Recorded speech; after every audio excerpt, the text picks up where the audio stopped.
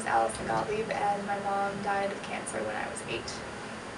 She first got breast cancer shortly after my little sister was born. So I was my my, my sister is three years younger than I am. So uh, when I was like four, she got the cancer the first time, and so she got what's that surgery where they I can't remember the name of the surgery, mastectomy, double mastectomy, and did lots of chemo and her hair fell out, and she had to have wigs and hats, and we most of our pictures.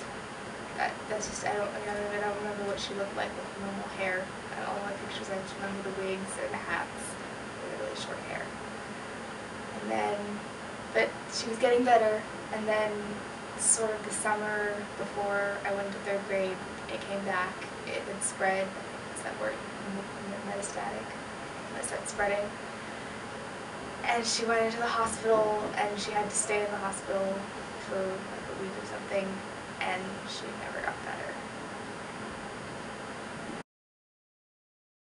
But When I think about the future, I'll realize, you know, my mom's not going to be there to for, all the things that a mom's supposed to be there for. Like before junior prom, I was crying, crying, crying myself to sleep, and a couple nights before, I was like, I'll never get to have the pictures with my mom, have her see me get all dressed up for prom.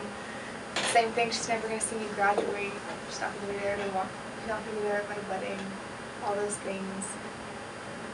It's just sometimes I wonder like how much of her do I really even know, like how much of her in my mind is the real her, or it's just a, an eight-year-old's ideals, the idealized version. And then that's really sad because it's like I don't even remember who she really was. And I'm just holding her up on this pedestal of who she should should have been, would have been, is in my head. Death sucks, and losing someone that you think is supposed to always is supposed to always be there, it, it, it changes you.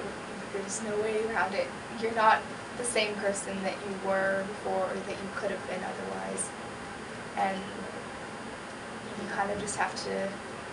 Sometimes it's a. Sometimes I wonder if that if it's a if that's sometimes a good thing, because of that that I dealt with something, learned how to deal with something like that so young that's going to prepare me better for other things, other hardships in the future.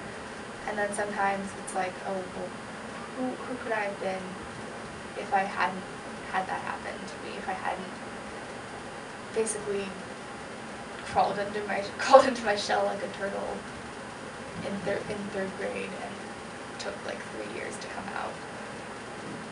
Who could I have been?